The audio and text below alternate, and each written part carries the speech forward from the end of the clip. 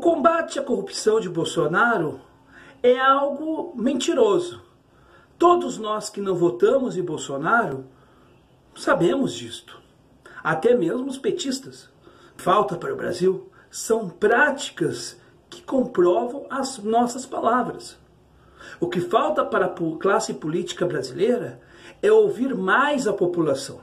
Bolsonaro falou em duas pautas que, com certeza, são pautas que mobilizam a todos: o combate à insegurança pública e o combate à corrupção.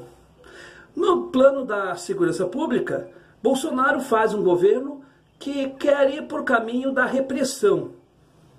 Esta é a tônica da política de combate à corrupção de Sérgio Moro, o seu ministro da Segurança. Mas também no plano, então, do combate à corrupção, nós vamos perceber que o governo Bolsonaro, ele é falacioso mesmo. Vide os gastos com cartão corporativo e outras despesas que, com certeza, por um país que tem dívida, não pode se fazer. Portanto, nós estamos mantendo privilégios dos amigos do rei, enquanto isto, o pobre, o trabalhador, a classe operariada está pagando a conta com reformas que não são reformas, mas sim retirada de direitos.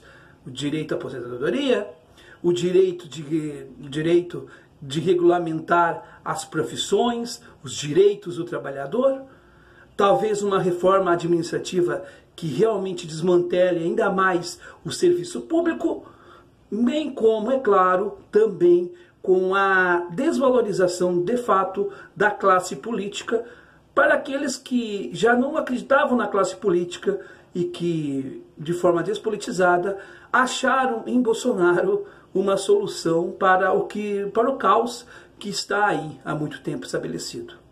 O fato é que a gente precisa e muito fazer uma reflexão e dizer que nós queremos o contrário disso.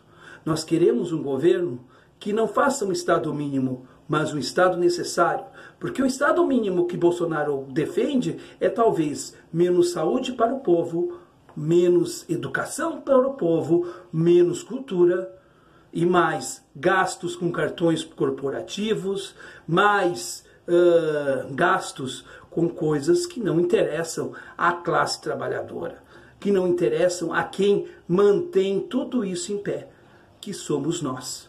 Então a gente tem que mostrar a questão da raiz de que o governo Bolsonaro, de que o discurso de Bolsonaro é contraditório por si mesmo, porque ele é um conservador, um conservador do status quo, da desigualdade social e da incoerência da classe política, principalmente aquela ligada aos setores que dominam a economia brasileira, como no caso os bancos, a questão aí do agronegócio e outros tantos aí mequetrefes que até usam uh, as cores do Brasil né, que tem lojas espalhadas pelo Brasil afora, mas deve ir para o Estado.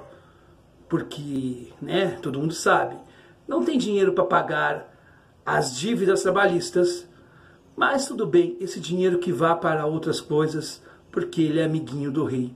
Não é mesmo, velho da Havan?